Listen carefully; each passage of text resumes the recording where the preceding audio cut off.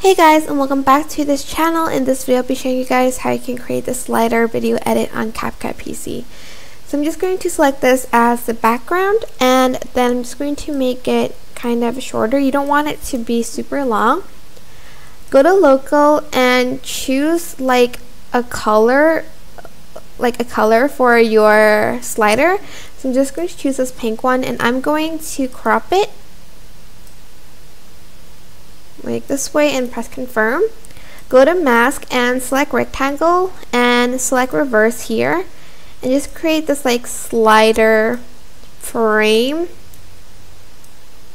and I'm just going to scale it down a little bit and put it to the left or the right. It is totally up to you where you want to put it. Now once you are done with that I might make this like a bit smaller too hold on. Okay. Um, you're going to add in a circle. Again you can choose any color you want. And I'm going to scale that too to fit the slider.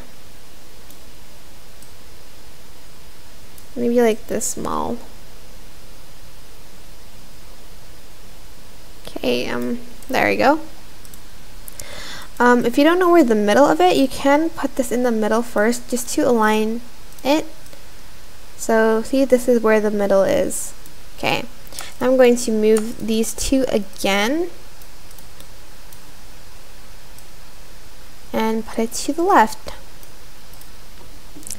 Now once you're done, you're going to add a keyframe in the beginning of the like frame, the circle one.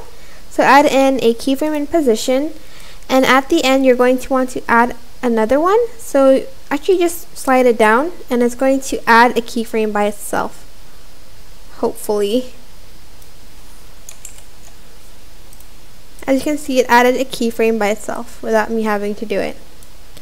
Now once you are done with that let's just play it first to see how fast it goes. Okay it's moving quite fast. Add in two pictures on top like so and for the first picture, make sure it's in the like first half and also the second picture, make sure it's on the second half of it. You also want to crop these down to um, like a one by one ratio, so it's a square. I'm just going to do it for both. Press confirm and then on the first one I'm also going to scale it to around 50% and this one too.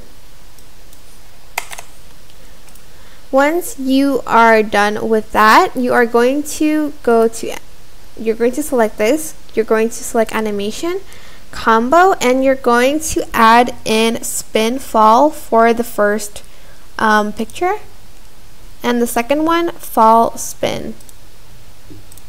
If it's too fast, just make sure you um, make this longer, like make these longer, so I'm just going to do that because I think it is a little bit too fast. So I will just do that right now.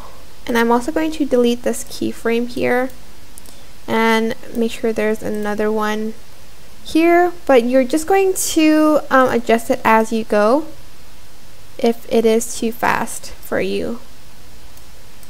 Again here, I'm just going to add it to the like to half of it and also half of it and make sure the duration of the animation is all the way through this one too.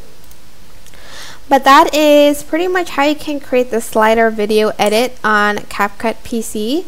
I hope this tutorial was helpful for you guys. Don't forget to like, comment, share, and also subscribe to this channel if you haven't done that already.